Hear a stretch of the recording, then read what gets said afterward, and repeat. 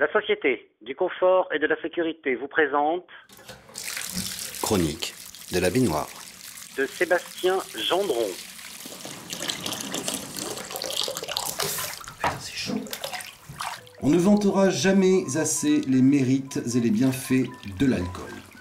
Outre sa capacité à vous mettre KO pour un coût bien plus modique que celui des drogues, l'alcool peut ouvrir des champs de perception que vous ne soupçonniez même pas ou qui, disons, vous avaient échappé. Et parfois même, l'alcool est tellement vertueux qu'on n'a pas besoin d'en boire pour atteindre ces fameux champs de perception insoupçonnés. Il suffit juste d'observer une bouteille. Je serais incapable de vous dire de quand date cette incrustation, je l'ai pour ma part remarqué il y a moins d'un an. La femme enceinte barrée. Je m'en souviens très bien, j'étais bourré. Il a fallu que je remette au lendemain cette observation parce que sur le coup, j'avais encore trop de conscience et que cela risquait de foutre en l'air ma soirée. Mais le lendemain, après un verre de citrate de bétaïne et une demi-plaquette d'ibuprofène, il a bien fallu que je me confronte à cette chose. C'est donc en refoulant une nausée que j'extirpais du bar toutes mes bouteilles et que je me mettais à leur observer le dos. Et là, stupeur. Sur l'étiquette arrière, entre le code barre et le sigle indiquant que l'objet était recyclable, il y avait bien, comme je l'avais vu la veille, un logotype circulaire du genre code de la route représentant la silhouette barrée d'une femme enceinte en train de lever un godet vers sa bouche. L'angoisse m'a brusquement saisi.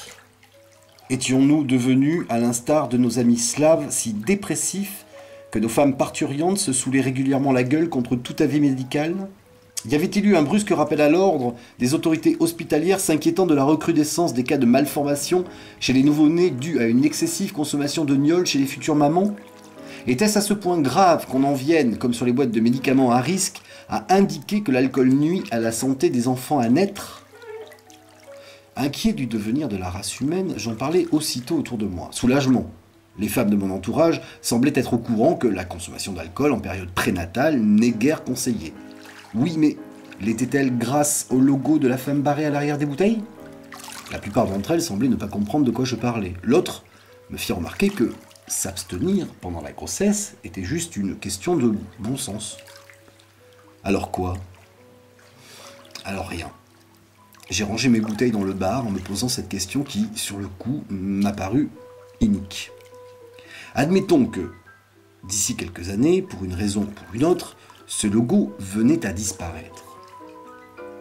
Verrons-nous alors apparaître des cas surnuméraires d'alcoolisme chez les femmes enceintes Privées de cette béquille visuelle qui, comme bien d'autres, tente à remplacer l'éducation, est-ce que nos futures mères se souviendront que la consommation d'alcool est nocive pour la progéniture?